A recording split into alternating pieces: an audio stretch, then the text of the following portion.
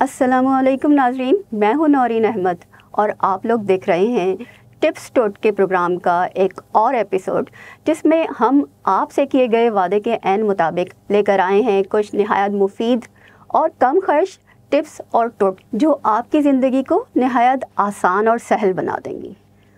तो नाजरीन, बढ़ते हैं अपने आज के टिप्स की तरफ़। हम कराची में रहने वाले लोग सभी जानते हैं कि यहाँ की आबो हवा में नमी बहुत ज़्यादा है। जिसकी वजह से हमारे किचन में मौजूद मसाले जो हैं, वो अक्सर अपनी फ्रेशनेस खो देते हैं। असल मसला जो हम ख़वातीन को दरपेश होता है, वो टेबल पर रखी इस नमक और काली मिर्च का है, जो थोड़े ही वक्त में अपना टेस्ट भी खो देती हैं और जम जाती हैं। और जब इन्हें इस्तेमाल करने का वक्त आता है और ख़ास तौर पर अगर हमारे घर में कुछ मेहमान आए हुए हों और हम उनके सामने ये नमक और काली मिर्च रखें और ये निकले ना तो हमें काफ़ी शर्मिंदगी का सामना करना पड़ता है। तो उसके लिए हम आपके लिए एक नहायत आसान हल और टोटका या टिप आप जो भी कह लें, वो लेकर आए हैं।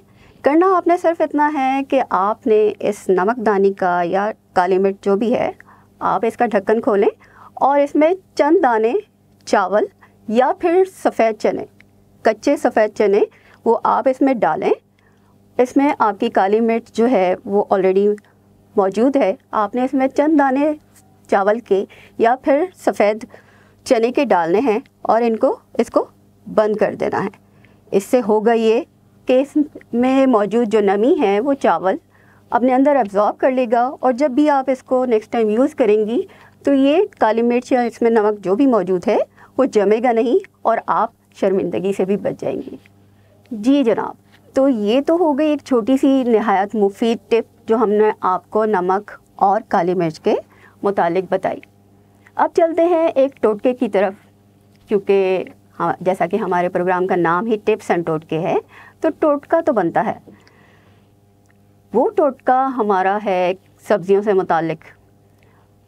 मैं और बाकी सब ख़वातीन जानती हैं कि लीमू आजकल कितने महँगे हैं, और घर में ज़रूरत भी पड़ती है।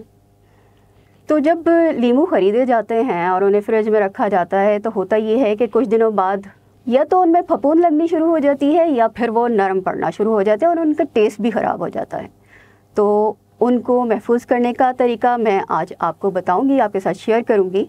बहुत आसान तरीका है कि आपने कोई भी वाइट पेपर या फिर न्यूज़पेपर जो आपके घर में अवेलेबल हो, साफ़ सुथरा हो, उसके पीसेस कर लें, चौकोर पीसेस कर लें और एक एक लीमू को पहले अच्छे तरीके से धोकर उसे साफ़ करके ड्राई करके उस चकोर पेपर में जो आपने न्यूज़पेपर या किसी भी वाइट पेपर से आपने उसके पीसेस बनाए हैं, उसमें रख कर और अच्छे तरीके से लपेट दें। अब जितने भी लीमू आपके पास अवेलेबल हैं, आप उन सब के साथ यही करें। उन्हें, उन उन कागज़ के पीसेस में लपेट दें और फिर किसी एयर टाइट जार में या बॉक्स में डालकर रख दें। इससे होगा ये कि जब लीमू आपस में टकराते हैं तो उनकी हीट एक दूसरे में ट्रांसफ़र होती है, जिसकी वजह से लीमू ख़राब होते हैं। और ऐसा करने की सूरत में जो टोटका हमने आपको बताया है, उसको इस्तेमाल करने की सूरत में आपका जो लीमू हैं, वो काफ़ी अर्से तक महफूज रहेंगे। जी नाजरीन तो आज हमने आपके साथ जो टिप्स और टोटके शेयर किए, हमें उम्मीद है कि आपको यकीनन बहुत पसंद आए होंगे।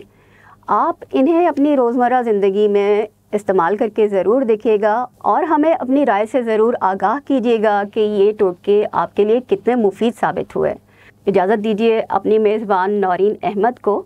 हम वादे के मुताबिक आपके लिए नित नए टिप्स और टोटके अपने प्रोग्राम्स में शामिल करते रहेंगे। कमेंट सेक्शन में ज़रूर बताइएगा कि आप मसले से मुतालिक आप कोई टोटका या टिप जानना चाहते हैं। और हमें ये भी बताइएगा कि आपको हमारा प्रोग्राम कैसा लगा। तो इजाज़त दीजिए। शेयर और सब्सक्राइब करना मत भूलिएगा। अपने पसंदीदा चैनल। अपने पसंदीदा चैनल।